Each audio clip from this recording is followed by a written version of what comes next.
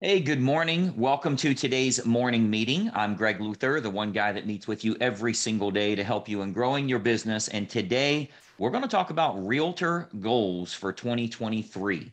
Uh, as you push through January, February, and beyond, it's very important to stay really focused on what you're trying to create this year. Like, what do you think is the theme of what you should be doing with your real estate business? Big one for me has been getting more market share, getting more eyeballs to know who I am. And that's certainly a big goal for real estate agents.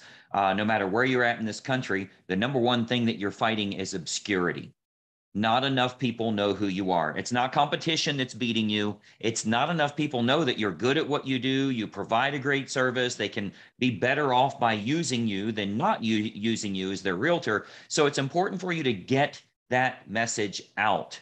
Uh, as an example, some of the things that I'm doing here is building my YouTube channel you're a realtor. You should be doing this. People go to YouTube to learn, and they should be learning about services that you offer as well as how you can help them with avoiding issues when buying a home. You know, some of the common mistakes that come up, some of the opportunities when buying or selling a home. You should be educating your consumer. So, uh, the beginning of the year, I said, you know what? Let me jump back into my YouTube channel here again. We had, I don't know, January 1st, we had about 6,000 subscribers, something like that. It was very small compared to how huge I've done on Facebook.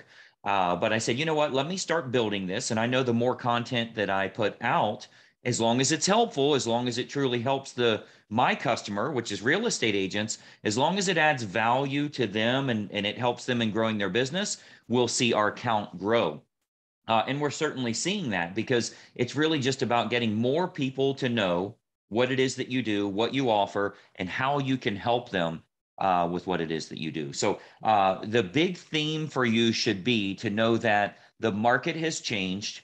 There's not money running through the streets anymore. You can't just you know you have 200 people on your sphere of influence and that's plenty of business because everybody's buying or selling that's gone that market has disappeared you are feeling a slowing of the real estate market for sure and that's true no matter where you're at in this country so what you have to do is start thinking okay it's not easy anymore, but I can be good at marketing. I can get my message out more because those 200 people that are on my sphere, I want to make it 500 and then 5,000 and then 8,000 and then 10,000. I want to keep growing. I don't have to meet them in person. I don't have to have sold them a home in the last 10 years.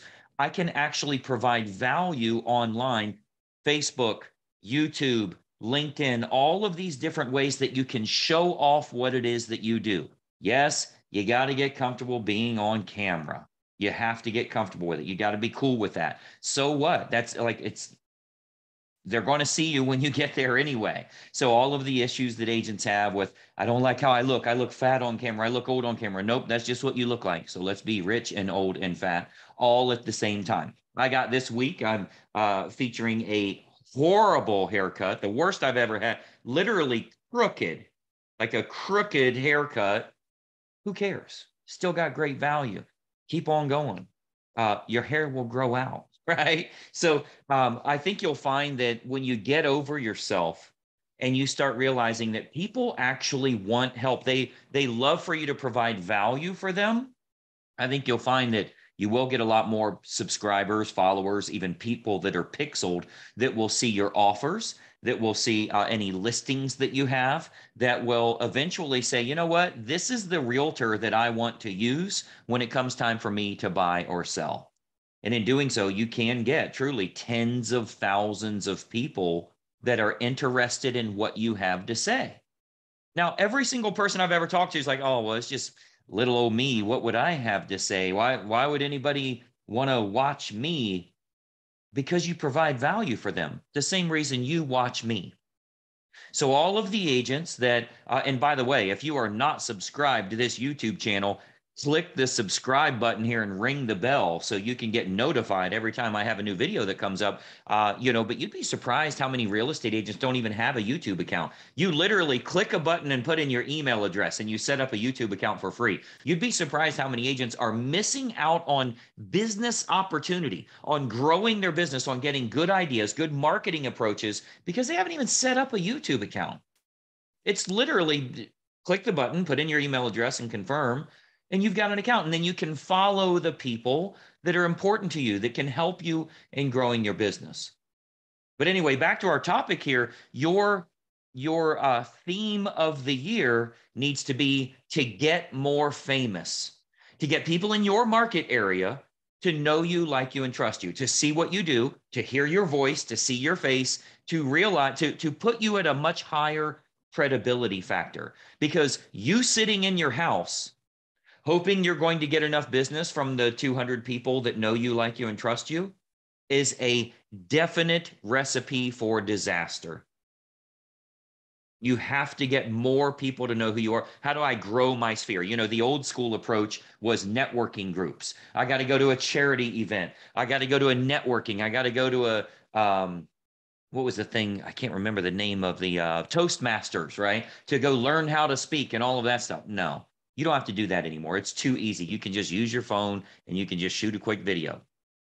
It's so easy to do that. So that is networking. That is communicating with people and showing them what it is that you do. So what I want you to do for 2023 is I want you to really think through how can I get more people to know me, like me and trust me? That's going to come from you doing video and growing your following, wherever that is. I don't care what you use Facebook, Instagram, Twitter, YouTube, whatever it is, you have to grow the number of people that know who you are, know you're a real estate professional, and that you can provide some kind of value for them. You can educate them, make sure they avoid some some conflicts or some issues that may come up, common issues that come up for real for uh, real estate purchasers or sellers, as well as opportunities that they may have never considered before.